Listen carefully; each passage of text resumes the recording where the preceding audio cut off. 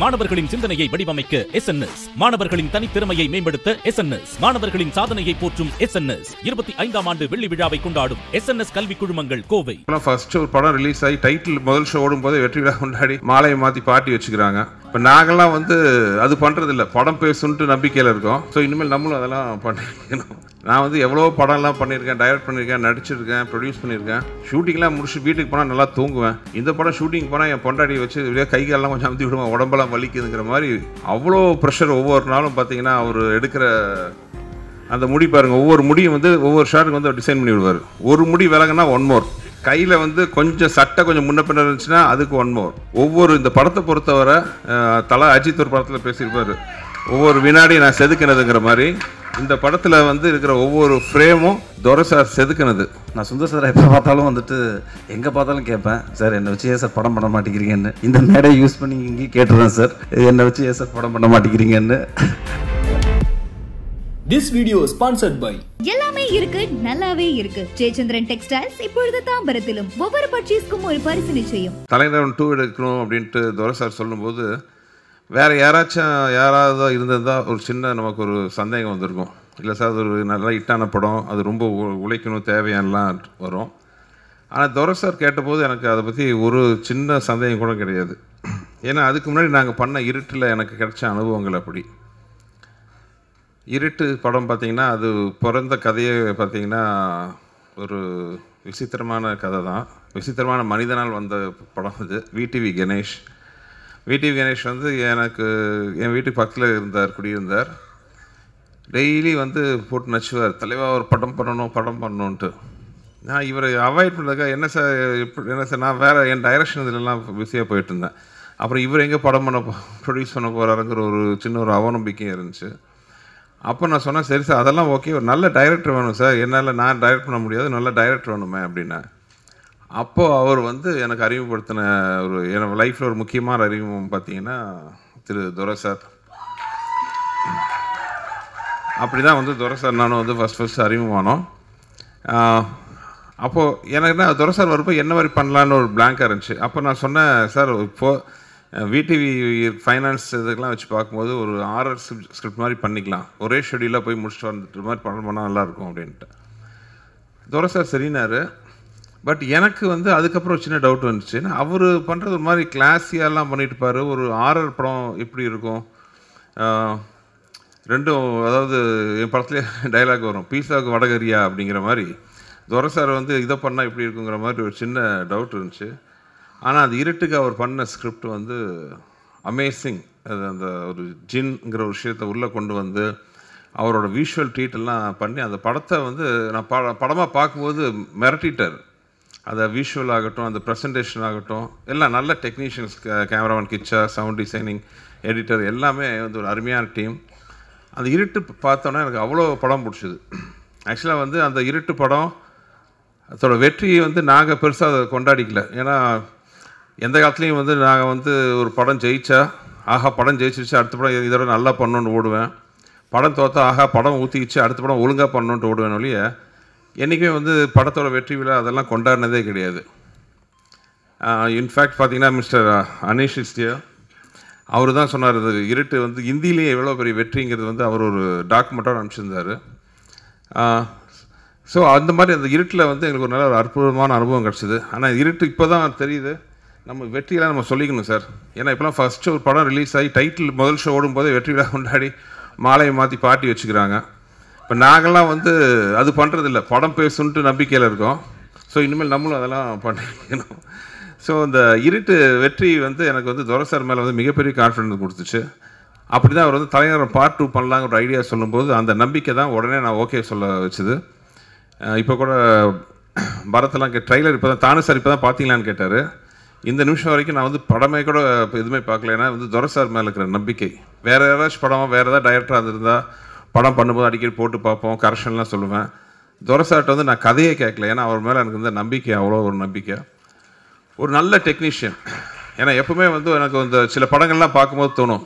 சில இயக்குனர்கள் சில ப்ரொடியூசர்ஸ் எல்லாம் பார்த்து பார்க்கும்போது ஒரு நல்ல சினிமா மேலே பேஷனாக இருக்கிற ப்ரொடியூசர்ஸுக்கு ஒரு நல்ல ஒரு டைரக்டர் கிடைக்க மாட்டாங்க.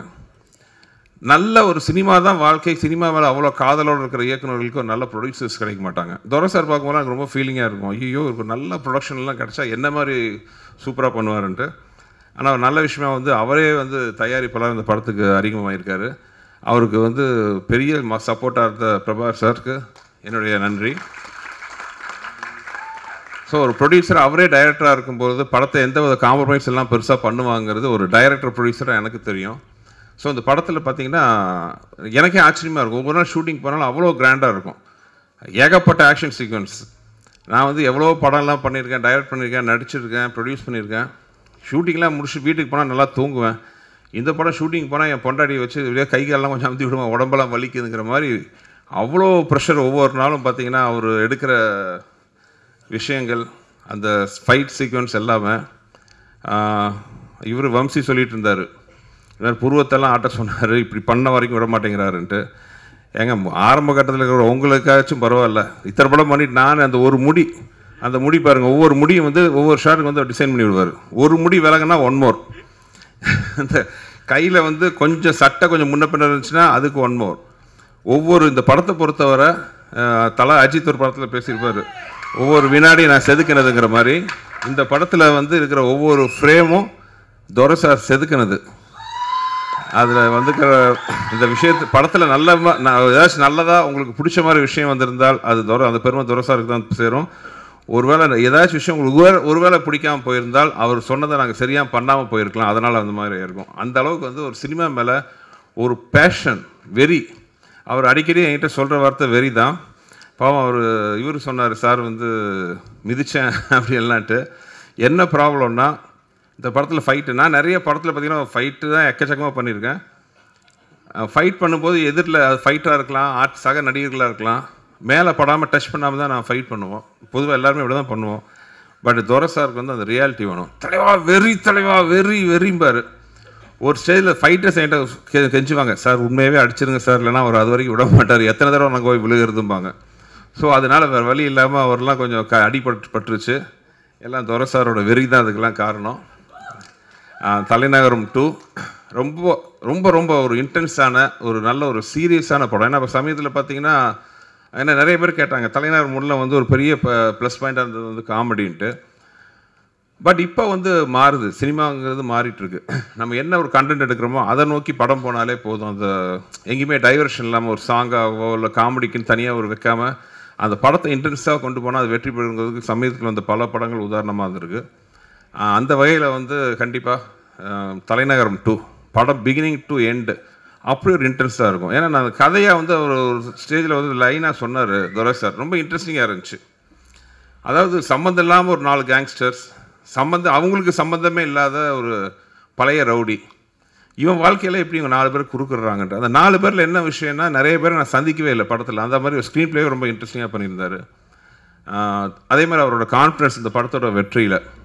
ஏன்னா படத்தில் அப்பப்போ நான் என்னோடய ஒரு மனைவி கேரக்டரை பற்றி பேசுவேன். ஸோ அது ஃப்ளாஷ்பேக்லாம் இருந்துச்சு இருக்குது சரி ஷூட் பண்ணுவார் அதுக்கு ஒரு பெரிய ஹீரோயின் வர போகிறாங்க அப்படின்ற ஒரு இதில் இருந்தேன்னா திடீர்னு ஒரு நாள் ஷூட்டிங்லாம் முடிஞ்சிருச்சுனாரு என்ன சார் முடிஞ்சிருச்சு? அந்த ஃப்ளாஷ்பேக் தலைவர் அது செகண்ட் பார்ட்டுக்குனாரு ஸோ கண்டிப்பாக வந்து இந்த படத்தோட வெற்றியில் அவருக்கு அவ்வளோ நம்பிக்கை இருக்குது அவர் கூட ட்ராவல் பண்ண அவர் கூட இணைந்து பயணித்த எனக்கும் அந்த நம்பிக்கை கண்டிப்பாக இருக்குது ஸோ தலைநகரம் டூ வந்து எனக்கு அந்த அரண்மனை மாதிரி தலைநகரம் டூ த்ரீ ஃபோர்னு துரைசா டைரக்ஷனில் போகணுன்ட்டு அடிக்கடி அவர் சொல்லுவார் எங்கிட்ட நீங்கள் கும்பிட்ற முருகனும் நான் கும்புற அல்லாவும் துணை பண்ணுவாங்கன்ட்டு. அவங்கள வேண்டி வேண்டிக்கிறேன் அப்புறம் இந்த படத்துக்கு வந்து திரு இங்கே சுப்புலட்சுமி மூவிஸ் திரு விவேகானந்தன் சார் வாங்கியிருக்காரு. ஒரு சீனியர் மோஸ்ட் இன்றைக்கி தான் சந்தித்தேன் ஒரு சீனியர் மோஸ்ட் தயாரிப்பாளர் விநியோகஸ்தர் பெரிய வியாபாரத்தில் கொடி நாட்டினவர். அவருக்கு இந்த படம் பெரிய வெற்றி அமைஞ்சு இந்த மாதிரி நிறைய படங்களை அவர் வந்து வாங்கி பல பேருக்கு வாழ்வு அளிக்கணும்ன்ட்டு கேட்டுக்கிறேன். அப்புறம் இன்னொரு முக்கியமான மென்ஷன் திரு மது. நண்பனுடையான் படைக்கஞ்சானுங்கிற மாதிரி வந்து துரை சாருக்கு ஒரு ரைட் ஹேண்டாக வந்து பல டென்ஷனை தாங்கிட்டு ஒர்க் பண்ண மது. கூட கேமராமேன் கிச்சா ஒர்க் பண்ண எல்லா டெக்னீஷியன்ஸ்க்கு எனது வாழ்த்துக்கள். இந்த படத்தில் மாபெரும் வெற்றி அடையணுன்ட்டு நீங்கள் எல்லாம் வந்து உங்களுக்கு சப்போர்ட் பண்ணணும். நன்றி. முதல்ல நான் மேடையில் இருக்கிற என்னோட இயக்குனர்களுக்கு என்னோட கெரியரில் ரொம்ப முக்கியமான படங்களை கொடுத்த என்னோட இயக்குனர்கள் பேரரசு சாராக இருக்கட்டும் சசி சாராக இருக்கட்டும் துரை சாராக இருக்கட்டும் எல்லாருக்கும் நான் நன்றியை தெரிவிச்சுக்கிறேன்.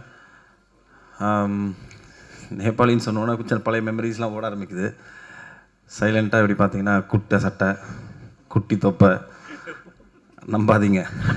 டெரர் ஸ்பாட்டில் யோ அப்படின்னு ஆரம்பிச்சாருன்னு வைங்களேன்.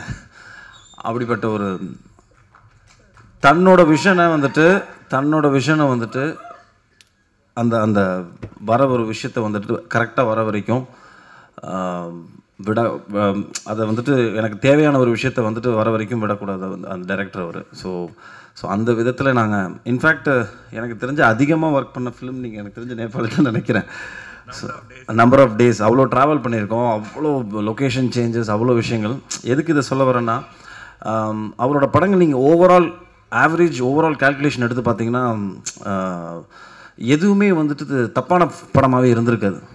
எல்லாமே மினிமம் கேரண்டியாக வந்துட்டு படம் பார்த்துட்டு நல்லா இருக்குங்க நல்ல படங்க ஸோ அப்படிப்பட்ட படங்கள் தான். முகவரியாக இருக்கட்டும் தொட்டிஜியாக இருக்கட்டும் நேபாளி சிக்ஸ் கேண்டில்ஸ் ஸோ எல் எல்லாத்துலேயும் சசி சார் சொன்ன பாயிண்ட் தான். எல்லாத்துலேயும் ஒரு ஒரு சின்னதாக ஒரு சோல் இருக்கும் ஒரு க்ரக்ஸ் இருக்கும்.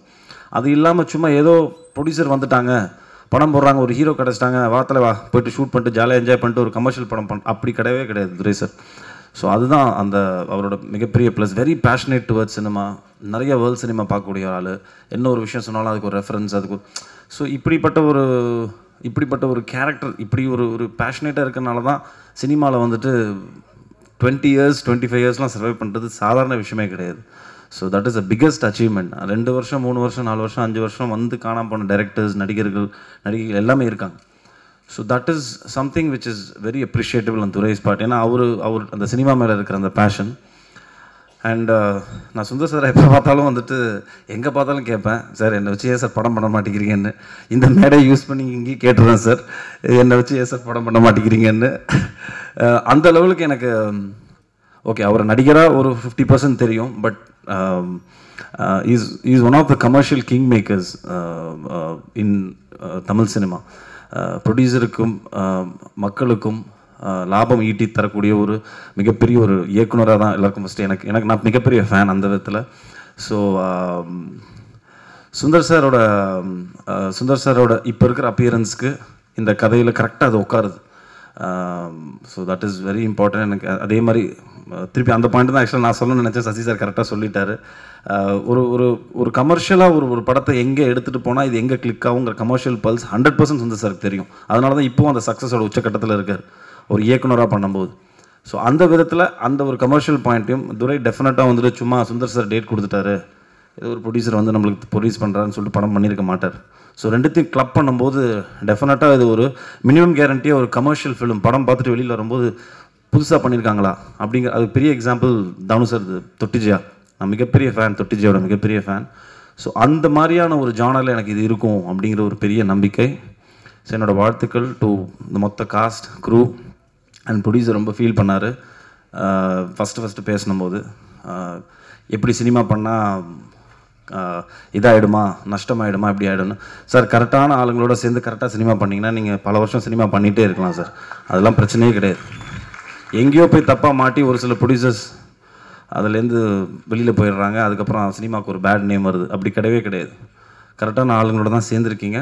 ஸோ மனமார்ந்த வாழ்த்துக்கள். Sundar sir all the best sir thank you sir மாணவர்களின் சிந்தனையை வடிவமைக்க எஸ் மாணவர்களின் தனித்திறமையை மேம்படுத்த எஸ் மாணவர்களின் சாதனையை போற்றும் எஸ் இருபத்தி ஐந்தாம் ஆண்டு வெள்ளி விழாவை கொண்டாடும் எஸ் கல்வி குழுமங்கள் கோவை. எல்லாமே இருக்கு நல்லாவே இருக்கு. ஜெயச்சந்திரன் டெக்ஸ்டைல்ஸ் இப்பொழுது தாம்பரத்திலும். ஒவ்வொரு பர்ச்சேஸ்க்கும் ஒரு பரிசு நிச்சயம்.